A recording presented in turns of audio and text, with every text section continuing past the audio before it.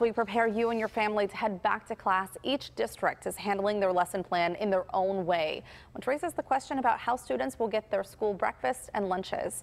Now this morning, Chris Hoffman is live in the Penn Hills School District to explain what they are doing to prepare ahead of reopening. Chris?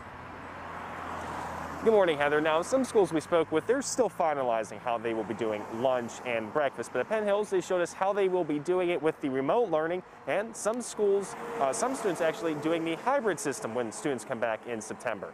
Now, we're told all these students will have the option to still be able to get their lunch and breakfast all five days of the week, whether they are in school or remote learning. Now, for those in the hybrid system, they will be able to grab the breakfast in the morning and take it to the classroom.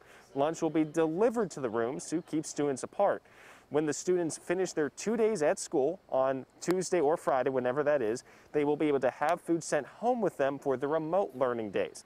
Now, for students doing all remote learning, they will be able to pick up food on Tuesday and Fridays about 30 to 45 minutes after the buses leave.